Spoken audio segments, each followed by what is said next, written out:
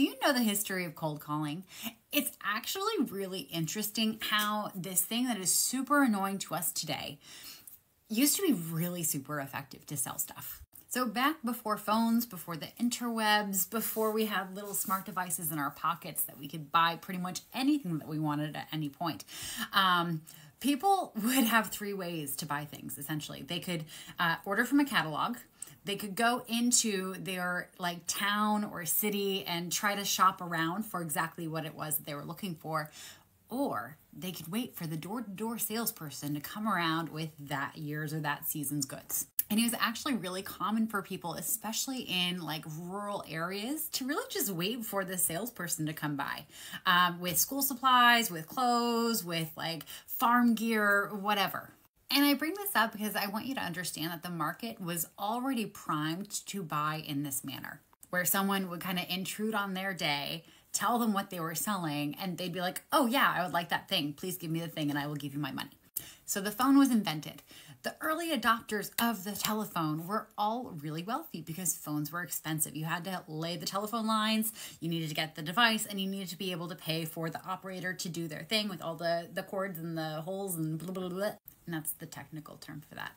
So all the wealthy people are starting to get these phones put in their homes. And the companies that usually send out their door-to-door salespeople are looking at this environment and thinking, you know what? We're sending our people out anyway to go door to door to all these houses that are out in the rural settings. So it takes them a really long time. You know, the people who have the most money, who are our most qualified buyers, have a device in their home that we don't actually have to go straight to them. We can call them and tell them what we have. And that was the moment when telemarketing was born.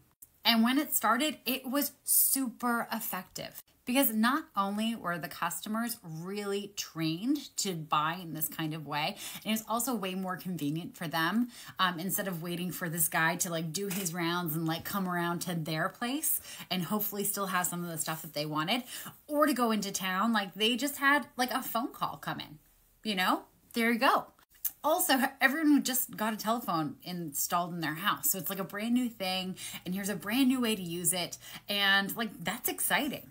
So the telemarketing companies they made a lot of money. The people who had the early phones they bought a lot of stuff. Um, but then phones became more and more accessible and more affordable to the vast majority of people.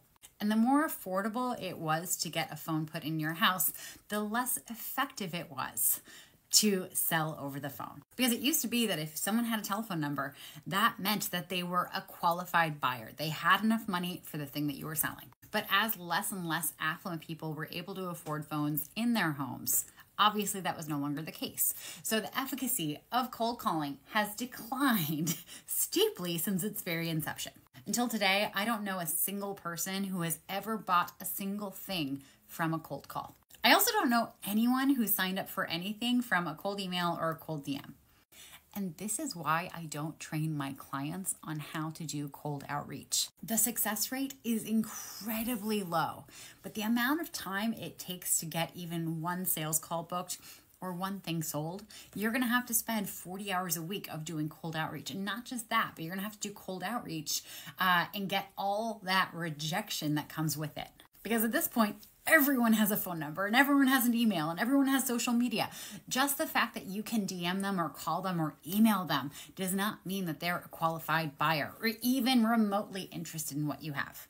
So, anyway, that's how cold calling started, and that's why it's no longer effective, and that's why I don't train it up to my clients. Oh, and hi, I help ADHD business owners make more money in less time with fewer distractions by helping you discover your profitable niche, design an offer that people actually want to buy, and learn how to market and sell it without wanting to vomit. I'm Katie McManus, business strategist and money mindset coach. Like and follow if you want more content like this.